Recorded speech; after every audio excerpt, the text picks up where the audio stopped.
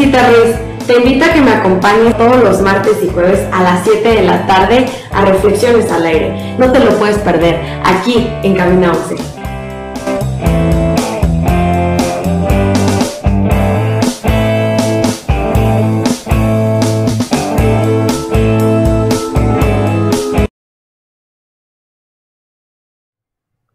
Hola, ¿qué tal? ¿Cómo están? Bienvenidos a Reflexiones al Aire. Bueno, antes de empezar nuestras reflexiones del día de hoy, quiero agradecer a Golba. Es un hidratante para los labios 100% mexicano y 100% natural. Está hecho de cera de abeja. Sí, cera de abeja. La verdad se los recomiendo muchísimo. Te deja los labios increíbles, besables, saludables, bonitos, chulos, hermosos. Están de venta en farmacias del ahorro. Cómprenlos, utilícenlos y bueno, comenzamos con nuestra reflexión del día de hoy. bueno, el día de hoy quiero hablarles un poco sobre cumplir tus sueños. Em, la verdad es que cumplir tus sueños no es tarea fácil, no es tarea fácil. Todo el tiempo estamos viendo personas exitosas en el internet, en la televisión, conocemos o escuchamos sobre, no sé, eh, algún científico, una persona que hizo algo nuevo, algo innovador, que están cumpliendo y que están viviendo el sueño. Y tú estás así acostado en tu cama y dices, ¿y por qué yo no? ¿Por qué yo no puedo destacar? ¿Por qué yo no puedo cumplir esto que me apasiona? ¿Por qué yo no puedo hacer esto que mi corazón grita, hazlo? Esto que mi alma dice que tengo que hacer. Les voy a decir por qué. Porque vemos todo lo bonito, ya vemos a la persona, ya la conocemos cuando ya lo logró, pero no sabemos todo lo que hay detrás. Realmente no sabemos todo lo que hay detrás. Hace 30 segundos em, me puse tan nerviosa que no pude que no pude grabar este video y esta es la segunda vez que lo grabo. Entonces, realmente, bueno, ustedes no vieron el, o sea, el antes, están viendo ahora sí, allá ahorita confiada, empoderada, platicando con ustedes como si nada pasara, pero no ves, no ves todo lo que hay detrás, todo ese esfuerzo, todos esos miedos, porque sí es muy fuerte, es muy fuerte mm, perseguir un sueño, es muy difícil, porque, bueno, para mí lo primero que se me ha venido a la mente cuando he tenido una meta o un sueño que cumplir ha sido el miedo al rechazo. Realmente el miedo al rechazo, el miedo a que te digan, sabes que no, no jalaste, no eres un loser, no, no sirves para nada, o el miedo a que la gente no confíe en ti, la gente no vea en ti lo que tú crees, lo que tú sientes en tu corazón que naciste para hacer. Entonces, más que nada es eso, el miedo. Justo hoy estaba hablando con unas amigas que quiero mucho, eh, que se llama Yuli y Elena. Estábamos platicando sobre bueno, sobre esto, sobre esto de los sueños, vimos una película, bueno, yo vi una película hace poquito, un poco atrasada en el tema, pero vi una película que se llama Nace una estrella y habla, bueno, un poco de una historia de amor, pero también habla sobre esto, sobre cumplir tus sueños y lo que ella tenía que soportar y aún así no se rindió. A ella le decían, perdón por los que no la han visto, aquí va un spoiler alert. Eh, bueno, a ella, la personaje principal que interpreta Lady Gaga, eh, le decían que ella no podía ser cantante, que era el sueño de ella, además de que tenía el talento, porque tenía, era muy narizona y porque estaba fea. Entonces, pues eso, claro que es un rechazo, claro que es un miedo a que tú te pares en un escenario y que te digan, ¿sabes qué? Estás narizona, estás fea. Claro que duele y da mucho miedo. Entonces ella eh, realmente no se rindió, no se rindió, es una historia ficticia, yo lo sé, pero pues así es la vida real tú, como les decía anteriormente, tú ves ya el producto, tú ya ves a la, esa estrella, tú ya ves esa persona realizada que está viviendo y cumpliendo el sueño, tú ves ese deportista que gana millones de dólares, pero tú no sabes cuántas veces se rompió, rompió la cara, literalmente. Eh, ahora sí, que cuántas veces no le dijeron que no, cuántas veces no se tuvo que dormir con todas las piernas adoloridas, no sabes todo lo que, las fiestas que dejó de salir, no sabes todo lo que hay detrás de, esa persona que tú ves, de ese sueño materializado y realizado. Realmente sí hay un trabajo. Entonces, ¿a qué quiero llegar con esta reflexión? Los sueños se hacen con los ojos despiertos. Los sueños se realizan cuando tú decides despertarte de la cama y decir, voy por él. ¿Por qué? Porque mi corazón me lo dice, porque mi corazón me llama y además, ojo, yo creo que sí debes de tener habilidades y debes de tener el talento para lograrlo. Porque, por ejemplo, yo por más que quisiera ser una cantante de ópera, yo creo que pues no me da, ¿no? O sea, no me da el tono, para nada me da el tono. Entonces, pues sí tengo que, que, que cumplir un sueño, pero que esté dentro de mis habilidades y mis aptitudes para que sea no solamente un sueño, sino una realidad, una posible realidad. Entonces, esa es mi, mi, reflexión sobre los sueños. También quiero hablarles un poco sobre esta pregunta que me hice el día de hoy. ¿Qué estás dispuesto, qué estás dispuesto a hacer para cumplir este sueño? Hay pruebas muy difíciles que te ponen la vida, yo soy fan, me encanta leer em, biografías de personas exitosas.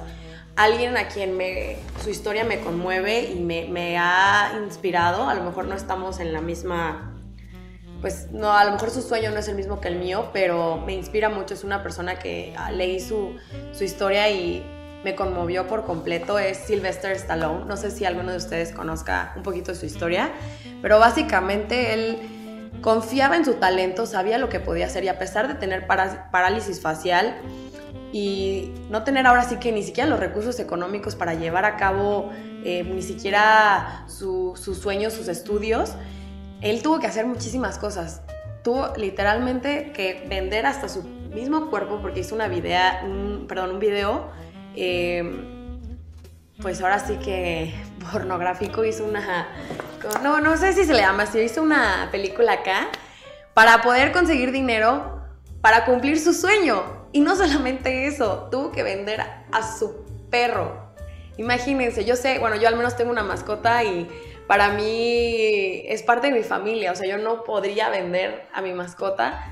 Imagínense lo que él pasó frío, pasó hambre y bueno, al final de cuentas ahorita es una de las personas más exitosas en el medio de, del cine es además una figura súper emblemática en el boxeo. Entonces, él hizo muchos sacrificios para poder cumplir ese sueño y además de todo tenía, pues ahora sí que el talento. Entonces, em, yo creo que pueden haber sueños tan grandes como ese, como el de Sylvester Stallone, y puede haber sueños tal vez mucho más pequeños y mucho más a lo mejor sencillos, pero yo creo que ningún sueño es posible si no cuentas con un plan de acción si no vences tus miedos y si no te haces esta pregunta, ¿qué estás dispuesto a hacer para cumplir tu sueño?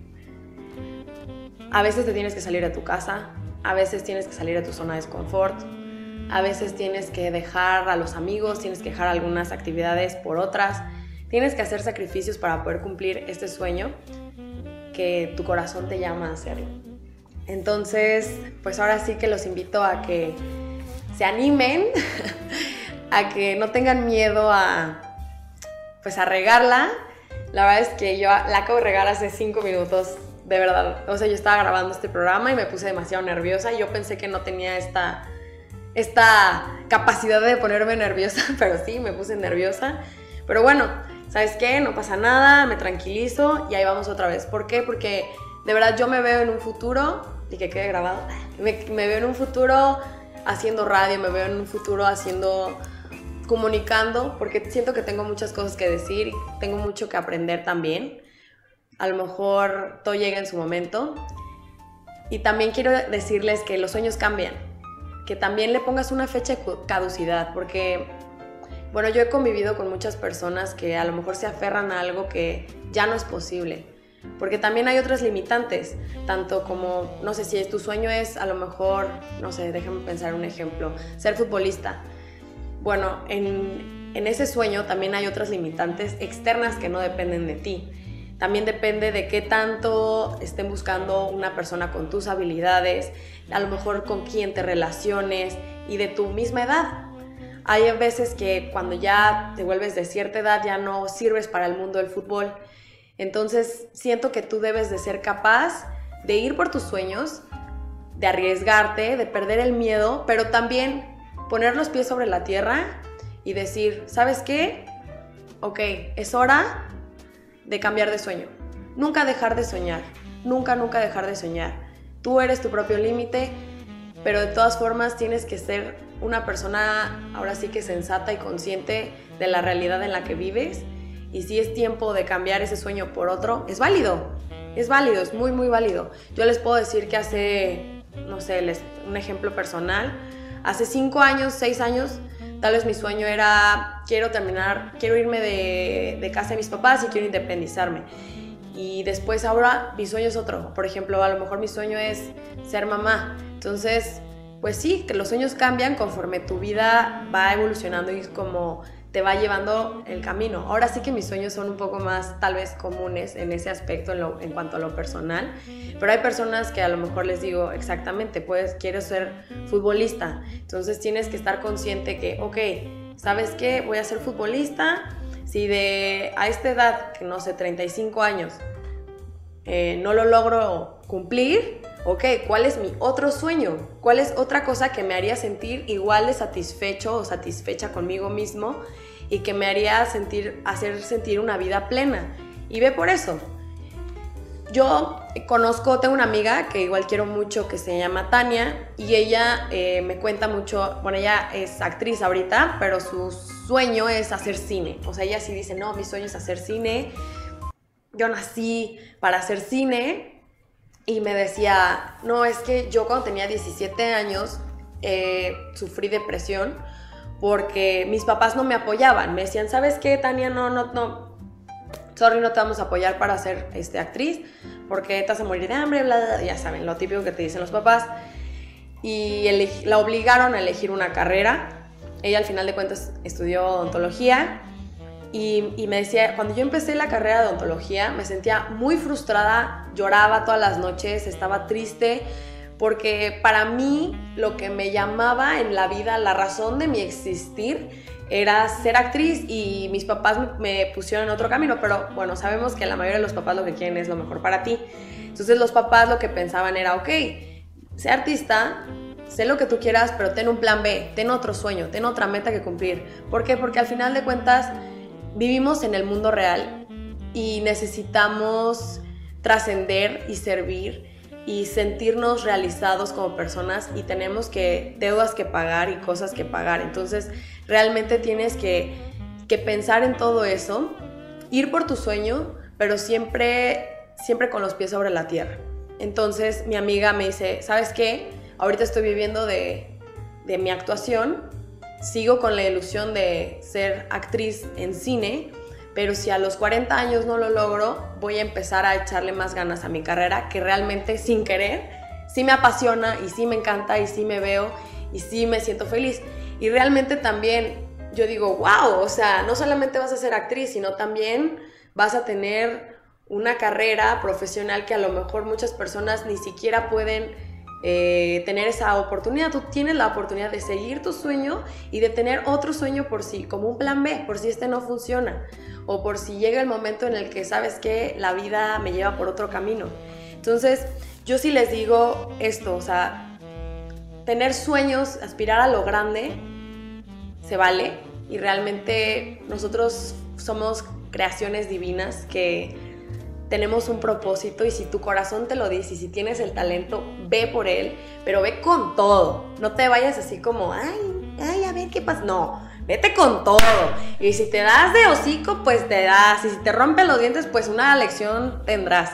Vete con todo. Pero cuando llegues a ese tope, a ese límite, decir, ¿sabes qué? Creo que es hora de cambiar de sueño. Hay que también aprender a discernir y a tener esa capacidad de madurez, de decir, ¿sabes qué? Esto es otra cosa que me puede llamar, esto es algo que me puede satisfacer de igual manera. Entonces, ahora sí que esa es la reflexión que tuve el día de hoy. Em, cumplan sus sueños, inténtenlo, hagan todo lo posible. Lo peor que les puede pasar es que les digan que no. Yo le tengo mucho miedo a...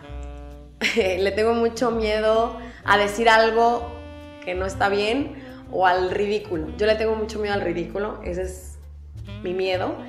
Y siento que todos tenemos algo que vencer para poder cumplir lo que tu corazón te llama a hacer. Entonces, vénselo, atrévete y lo peor que puede pasar es que, bueno, lo intentaste, hiciste todo tu esfuerzo, te fuiste de boca y pues ya no pasa nada, la vida sigue, eh, la vida te va llevando por caminos diferentes. También siento que hay que estar muy atentos a las señales, yo creo mucho en las señales, siento que eh, yo soy una mujer creyente, entonces siempre le pido mucho a Dios y al universo que me, que me mande las señales, yo pido mucho y, estoy muy atenta siempre cuando conozco a alguien, cuando veo algo. Y cuando tu cerebro se programa, por ejemplo, si tú dices, mi sueño es un ejemplo así eh, burdo, ¿no? Mi sueño es ser mamá y tu cerebro se programa, tú empiezas a ver bebés por todas partes, me cae, así. Me cae, te lo juro, que empiezas a ver bebés por todas partes y hasta en tu Facebook ves puros bebés y casi que bebés en las nubes y porque ya lo tienes en tu chip, ya lo tienes en tu cabeza, ya te programaste y vas con todo por eso. Y créeme que bueno, tener bebés ahora sí que depende de ti nada más porque pues ya nada más, pues ya saben, ¿no? Entonces... Ahora sí que eso es algo muy burdo, pero a eso me refiero. Cuando tu sueño es, por ejemplo, quiero ser futbolista, te apuesto que comes, desayunas y cenas fútbol. Comes, cenas y desayunas fútbol, es tu pasión, sueñas con eso, tienes pesadillas con eso y realmente empiezas a ver eso por todos lados, te empiezas a relacionar.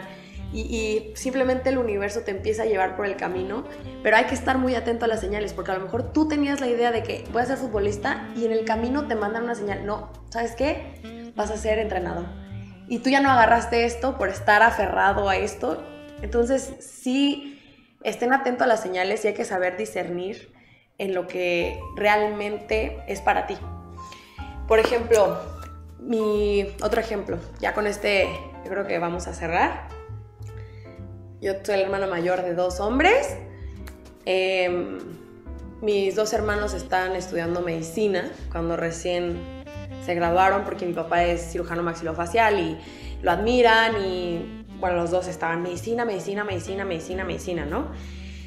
Mi hermano, el que me sigue después de mí, el del medio, él sigue, él ya, ya está a punto de terminar, está en internado, come, desayuna y cena medicina todo el tiempo te platica de lo que ve en el hospital, todo el tiempo te dice, todo el tiempo está viendo videos, todo el tiempo está estudiando, todo el tiempo. Se nota que es su pasión, se nota que eso fue llamado a la vida. Desde que era niño decía, yo voy a ser científico.